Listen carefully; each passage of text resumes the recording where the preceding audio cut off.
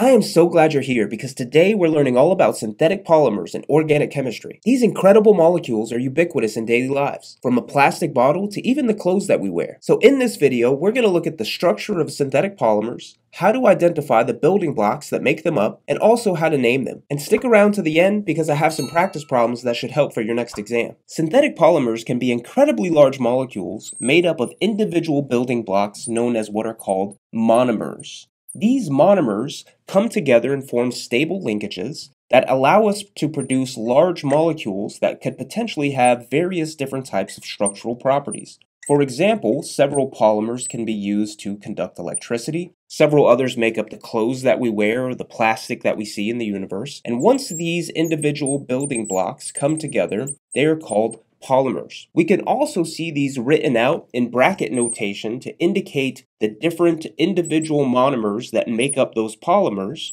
by just writing the number of N. So N indicates the number of individual monomers that come together to make our overall polymer. So oftentimes you'll see polymers depicted using this format or using this type of notation. The nomenclature of synthetic polymers often follows a specific set of rules depending on the structure of the monomers that build up those polymers. For example, on the screen we see that we have a propylene group which is because there are three different carbon atoms on this chain, and there's an alkene. And this functional group is called a styrene. So this is a benzene derivative known as styrene. Therefore, when we go to name the polymer version of these individual polymers, we would call this poly and then write the rest of the name. So in this case, it would be polypropylene, propylene, and in the case of the styrene derivative, this would be polystyrene. Now, for polymers that are made up of systems where there's only a single type of monomer, this is the straightforward way to name these. So you just write the name poly followed by the substituent that the monomer that was used, so polypropylene and polystyrene. When naming a polymer whose monomer contains two words like vinyl chloride, we change things up a little bit by still writing poly However, the name of the monomer goes in parentheses at following that. So this would be polyvinyl chloride which is a commonly used polymer for water pipes. So again, two words for the monomer. We place poly followed by the two words in parentheses for polyvinyl chloride. On the screen are several examples of common polymers. Polymers are also often named by their trade names, such as Teflon and superglue. Thus far, we've largely looked at examples of what are called homopolymers, where the polymer is made up of a single type of monomer to generate the entire polymer. In contrast, polymers that are made up of different types of building block chains, known as monomers, are called copolymers. So copolymers are anytime you have two or more monomers that make up the polymeric substance. In this example, you have vinyl chloride and vinylidene chloride that come together to create a polymer called Saran, or S-A-R-A-N. So in this example, we have our vinyl chloride, which only contains a single chlorine atom.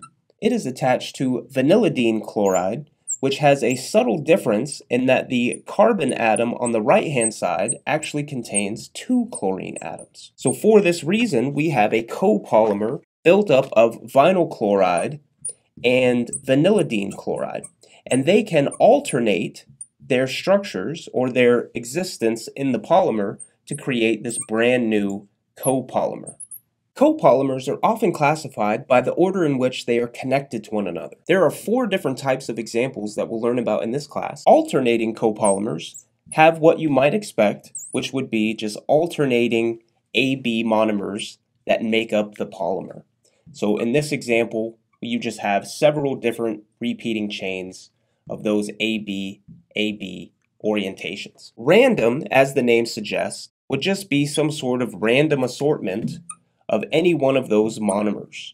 So it could be that it appears that in certain locations there may be some sort of pattern. However, what we often find is that given enough time, you'll notice that it is a relatively random assortment of different monomers that make up these random polymers. Copolymers comprised of homopolymer subunits are called block or graft polymers depending on how they are constructed. For example, if you had a homopolymer that was five subunits of the A chain, and it were to combine with another homopolymer that was five units of the B homopolymer, they could come together to form what is called a block copolymer. If instead the attachment of the AB homopolymers allowed the polymers to branch, this would what be what is called a graft polymer where these different units can combine at different locations. And in fact, the orientation and the connection points of different polymers often gives rise to the way that we classify them when we're talking about copolymers. One of the things you'll be asked to do is to identify the individual monomers that make up a polymer. For problems like this, it's easiest to try to identify a breakage point